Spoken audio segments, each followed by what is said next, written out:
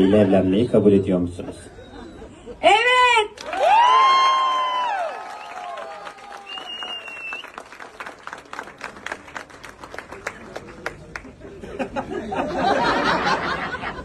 Kerem Bey kaçıyor. Siz Kerem Kupacı.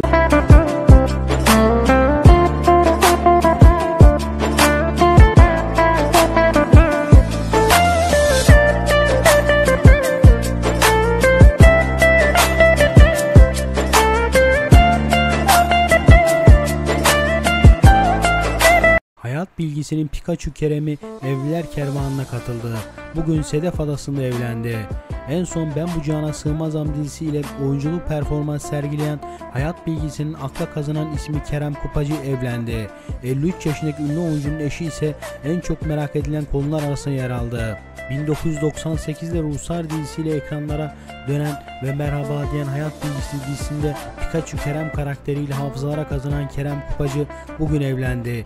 En son ATV ekranında uzun yıllar devam eden Ben Bu Cana Sığmazam'da rol alan bu yılın içinde ise herhangi bir projede yer almayan Kerem Kupacı bir süredir evlilik hazırlıklar içinde olduğu Ece Ceyhanlı ile nikah masasına oturdu. İstanbul Sedef Adası'nda nikah töreni haberiyle Kerem Kupacı'nın kim olduğu ve ne iş yaptığı oldukça merak edilmişti. Alınan bilgiye göre Kerem Kupacı'nın eşi, müstakbel eşi Ece Ceyhanlı bir avukattı.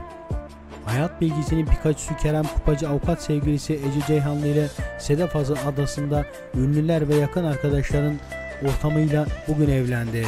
Şimdilik videomuzun burada sonuna geldik. Gündeme dair gelişmelerden anında haberdar olmak istiyorsanız aşağıdan kanalıma abone olup bildirimleri açabilirsiniz. Renkli sayfalar.